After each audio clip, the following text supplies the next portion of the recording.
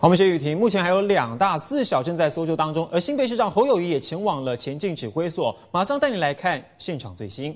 我们一定会把它安置好，然后了解整个事实的经过以后，我们会逐一的让他们平安的回到家。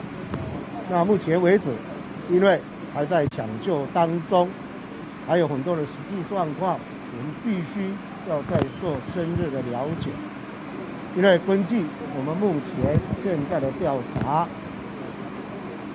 这个带队的是一个天大地方自然公司。这个公司今天有一个书向导负责带队，有家长，有同学。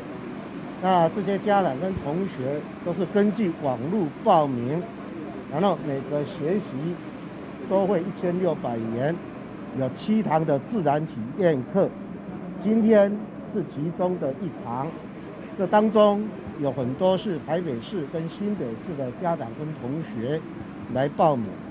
那目前我们书中的六六个人，两大四小，其中有五个是台北市人，一个是新北市的同学，所以这个部分相关的调查。以及事实的厘清，我们现在在做进一步。市长，他入夜之后，其实现场雨非常的大。那就你们这边所了解，这个带队这个向导，他在出发前有没有评估过今天的天气状况？因为这是一个公司所招募，有收费，然后带着家长跟同学到我们各地区来做大自然的体验。我相信。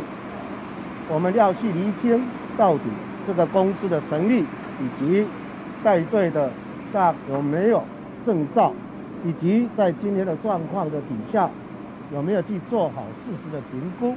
那这部分的责任，我们现阶段都还在厘清当中。我们希望现阶段先以抢救失踪的这些大人跟孩子们最重要。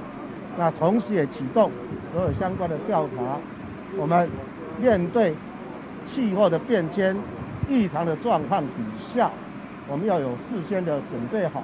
万一有状况，我们如何应应？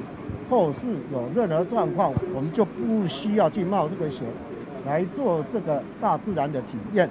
我想这个部分，我们要特别在这里提醒大家，因为现在气候变化很大，尤其山上随时有雨季的来临。